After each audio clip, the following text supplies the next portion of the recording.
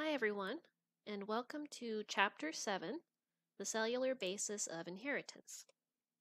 This is a lecture that goes hand in hand with our last lecture, Chapter 6, wherein we learned about the process of mitosis, which is how most eukaryotic cells are produced. To recap, mitosis involves a cell replicating its DNA and then undergoing a series of phases which allow it to split that DNA in half in order to create two identical cells out of the end of it, which are identical to both each other as well as the original parent cell that started the process. Cells that are made through this process called mitosis are called somatic cells. But in this lecture, we are going to be talking about the one type of cell that is not considered a somatic cell and the exception, therefore, to mitosis. But before we do that, let's take a moment and review a little bit about how mitosis works in human cells. Taking a human skin cell, for example, um, if the skin cell undergoes mitosis, how many chromosomes does the parent cell originally have? How many daughter cells are produced through the mitosis process, and how many chromosomes do each of those daughter cells have?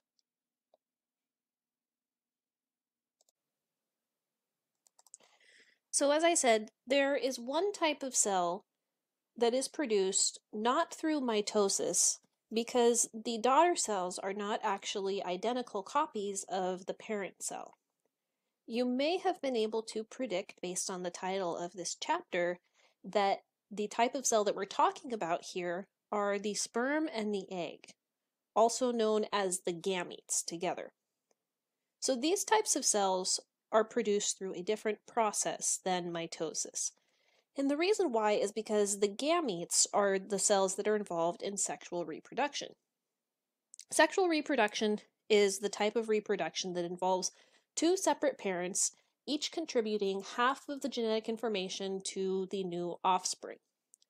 This means that the gametes, the sperm and the egg, do not have a full set of chromosomes in them, Rather, they only have a half set of chromosomes, 23 instead of 46 that are found in all of your other cells. It makes sense then, if these cells have a different set of chromosomes, or rather a smaller number of chromosomes than the rest of your cells, then mitosis will not produce them. There has to be a different process, and that process is called meiosis. Now, at this point, it's worthwhile reviewing a few terms that we introduced in the last chapter, um, but we're going to go over their definitions again here. The term diploid we introduced to describe cells that have a full double set of chromosomes. And if we're talking about humans, then that means 46 chromosomes. Haploid cells, which we introduced last chapter but we didn't talk about in detail, is the term used to describe cells that have only a half set of chromosomes instead of the full double set. In the case of humans, the haploid gametes have 23 chromosomes. So meiosis is the special type of cell reproduction that ge generates the haploid gametes. And the type of cells that undergo meiosis are actually a diploid cell called a germline cell or a primary sex cell. So the process starts out with a diploid cell, but then that diploid cell undergoes divisions that eventually reduce the chromosome content in half.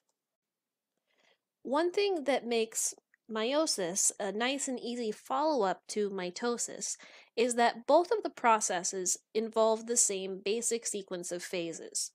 So, thinking back to chapter 10, what were the names of the four phases of mitosis and what are they followed by? What comes after those four phases?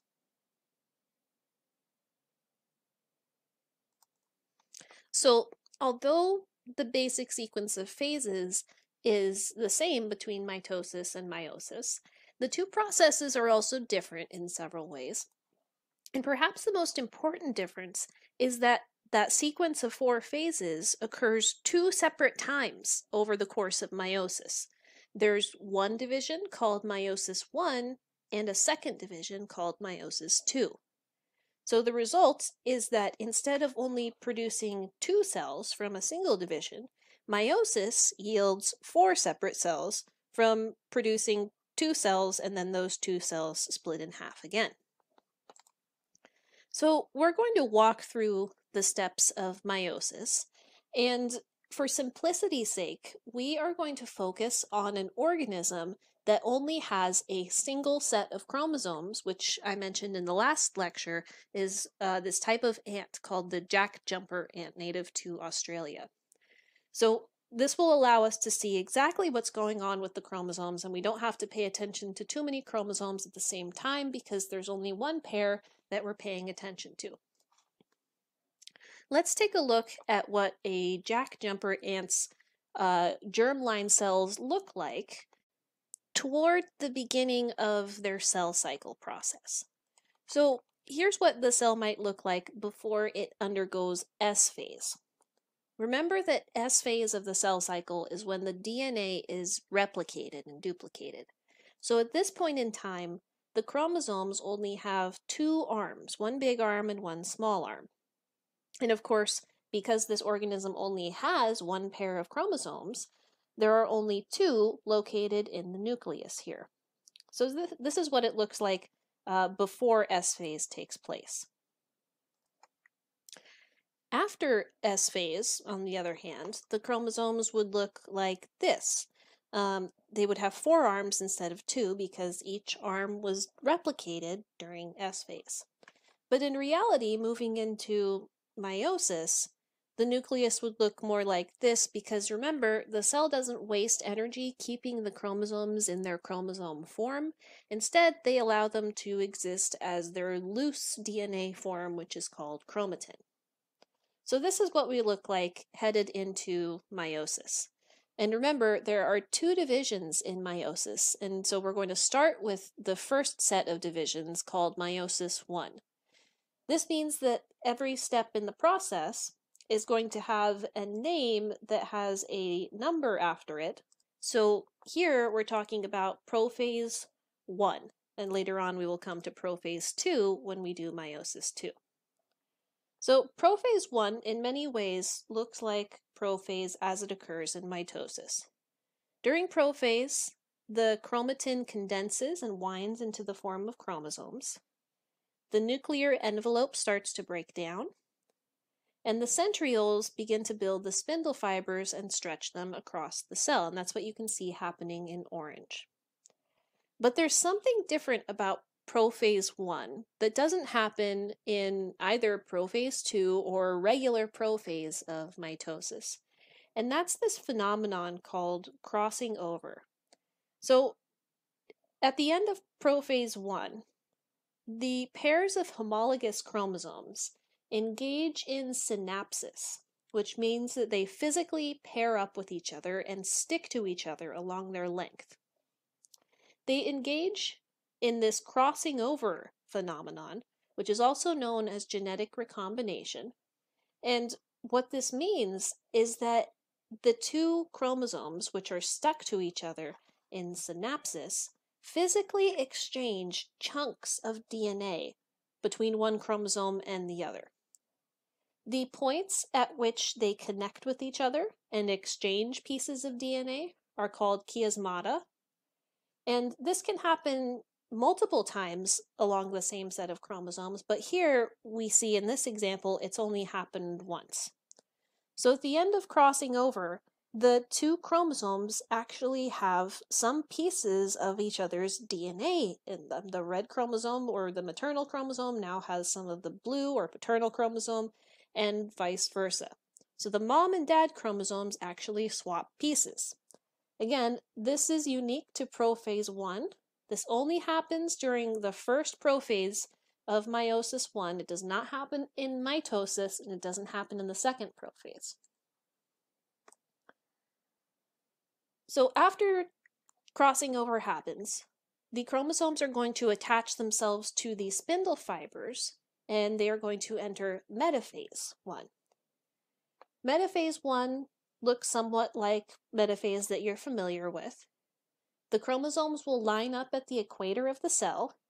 However, the one thing that is unique about metaphase 1 is that the chromosomes are still engaged in synapsis at this point, meaning that they are still stuck to each other. So instead of the chromosomes lining up on separate spindle fibers, in this case, the chromosomes are stuck to each other side by side, straddling this middle line here. This means that when the cell moves into anaphase 1, the chromosomes themselves are going to be pulled apart out of synapsis instead of being broken down into sister chromatids. In mitosis, we saw that the centromere would break apart and the chromosomes would be physically pulled apart, where one sister chromatid would go in one direction and the other one would go in the opposite direction. But in this case, the overall chromosome has maintained its uh, integrity here. It's still intact. The two have just been ganked out of their synapsis of being stuck together. In telophase, the chromosomes cluster at either end of the cell, and a new nuclear envelope reforms around each cluster of chromosomes. And finally, they begin to decondense back into their form of chromatin. After telophase, we have one cell that has two nuclei in it. And so it's necessary to break that overall cell into two separate cells, one with each nucleus.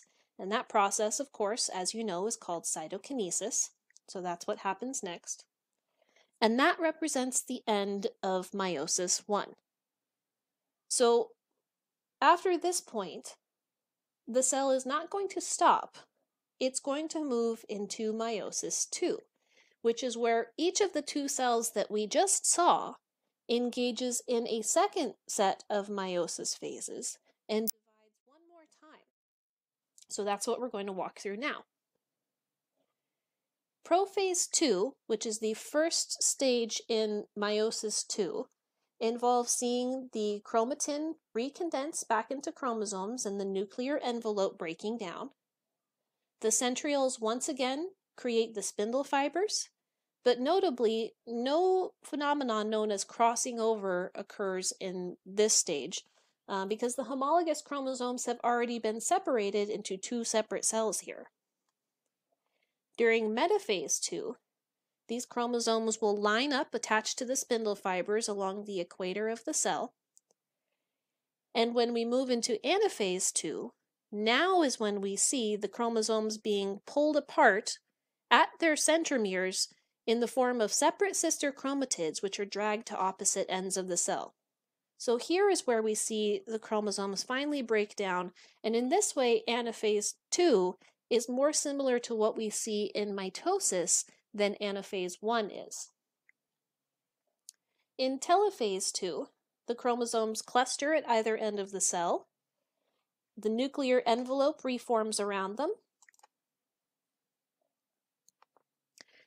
And of course, the spindle fibers are broken down because they are no longer needed.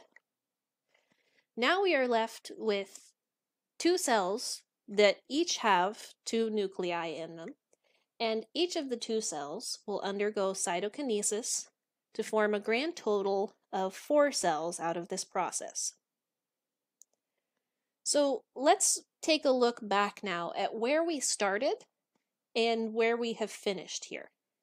This is the cell that we started with. It was a cell with one nucleus and it had two chromosomes in it, and notably, this is before S phase took place. This is before the DNA was duplicated.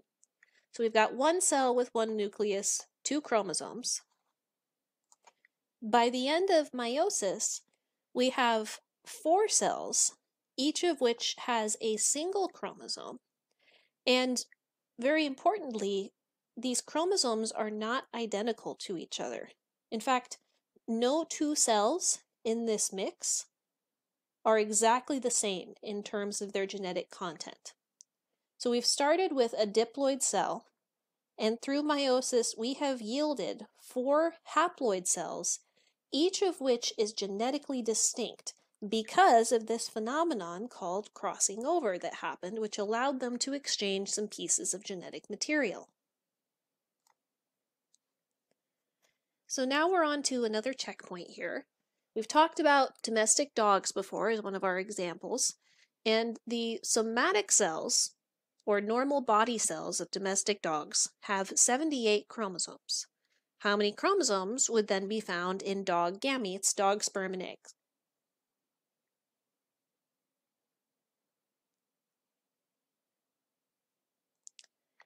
And next, before a germline cell goes under meiosis, is that cell diploid or haploid?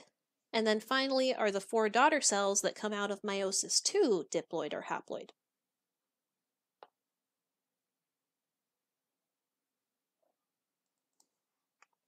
So to sort of summarize how meiosis does this, the germline cells that start off the process will inevitably duplicate their DNA as they go through interphase. During S phase, their DNA is replicated and multiplied times two. But then once the cells enter meiosis, it's cut in half not just once, but twice, which leaves the four gametes with a half set of DNA that is necessary to engage in sexual reproduction. In this checkpoint here, I want you to describe to me the differences that you saw between the process of mitosis that we learned about in Chapter 10 and the process of meiosis.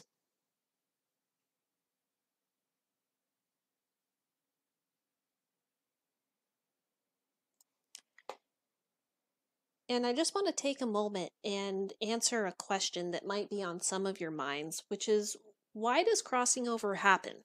Why does this phenomenon of homologous chromosomes exchanging genetic information occur in the first place? What what good does it do? How does it benefit organisms for this thing to happen?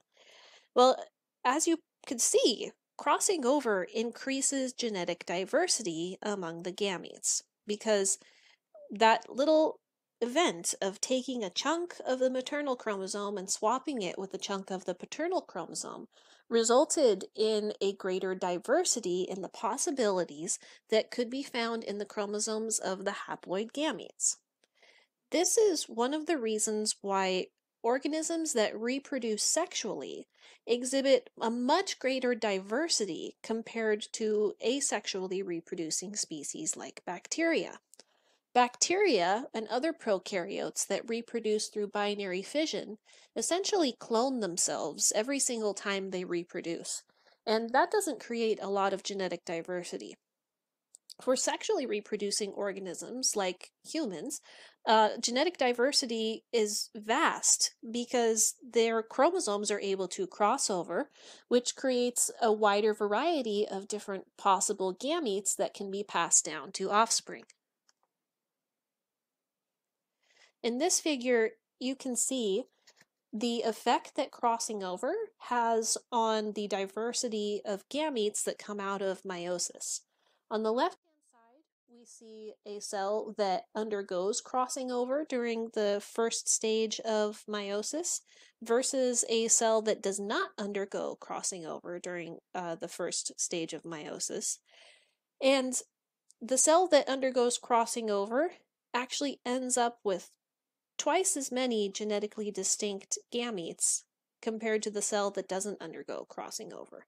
So you get two times the diversity out of this when you're talking about an organism that has four total chromosomes here. So just like things can go wrong in mitosis, and we talked about the effect of things going wrong in mitosis and it leading to cancer, things can go wrong in meiosis as well. And errors in meiosis lead to chromosomal aneuploidy, which is defined as the condition of possessing an improper number of chromosomes.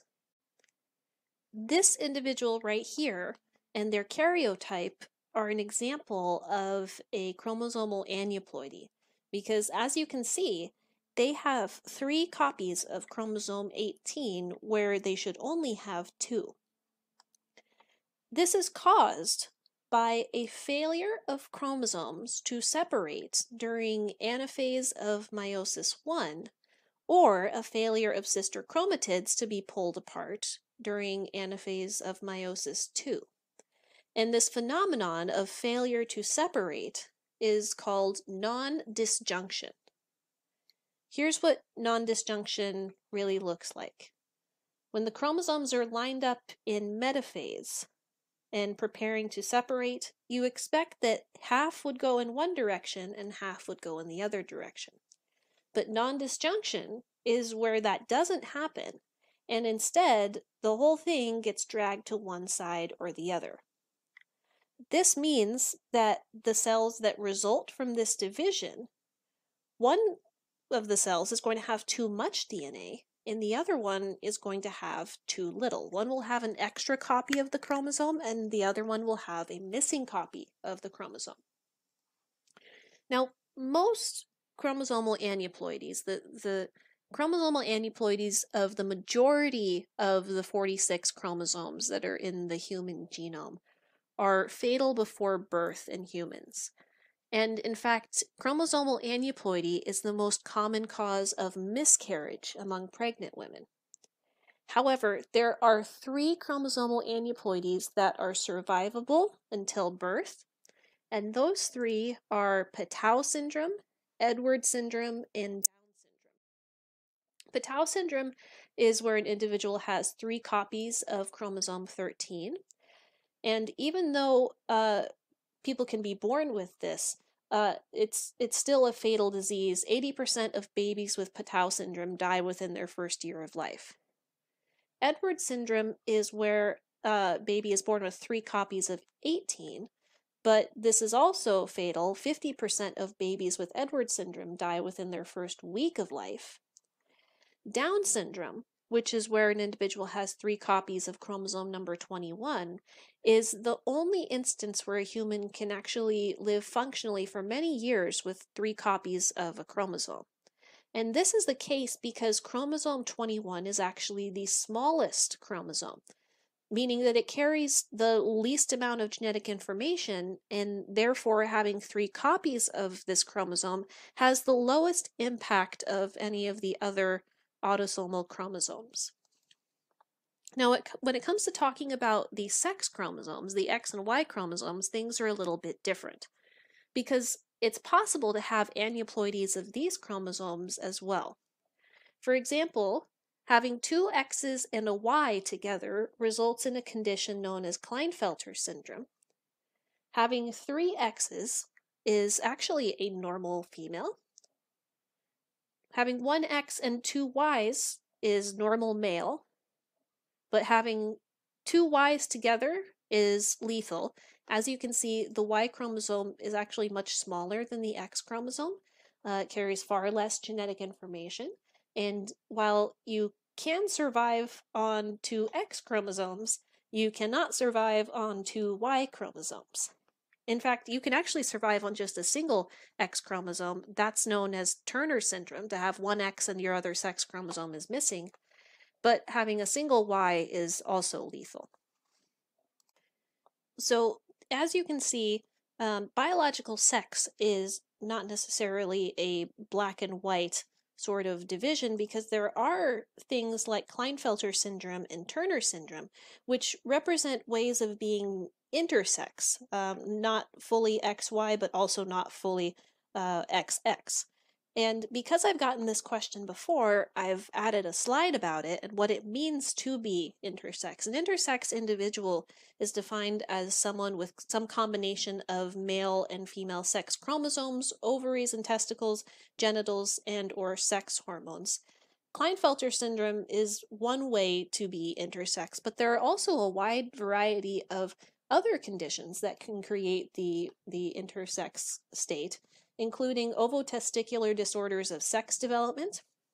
For example, if an egg is fertilized by two different sperm, or the embryos of fraternal twins that are initially two separate embryos inside of the womb, then fuse to become one, then an individual can be born with a combination of XY and XX cells in the body. And so part of their body is XX and part of their body is XY. Androgen insensitivity syndrome is uh, where an XY individual has cells that actually do not respond to testosterone and therefore they develop fully female or partially male in their sexual characteristics. Taken all together, all of these different ways to be intersex doctors estimate that somewhere between 1 and 2% of the human population is intersex uh, in one of these various ways. So it's more common than you might expect it to be. And on a final note, we're just going to have a little brief discussion about aneuploidy and maternal age, um, because it is a reality that as women age, their germline cells undergo, undergo more non-disjunction and have more chromosomal aneuploidies. Whereas women in their 20s have approximately a 2 to 3% chance of having a child with a chromosomal aneuploidy, women in their 40s have a 30% chance of having a child with a chromosomal aneuploidy. You may know that as women get older, it, it is uh, more likely that they will have children with, for example, Down syndrome, or more likely to have uh, chromosomal aneuploidy induced miscarriages. And this is the reason why. It's not yet known whether the correlation is the same for men. However, there is good evidence that as uh, fathers get older, they do pass down more non chromosomal mutations, meaning mutations in the letter code of the DNA, than older mothers. Specifically, 80% more non chromosomal mutations. So there is some contribution of the father's age as well. And on that note, we are finished with this lecture, and I will see you in the next one.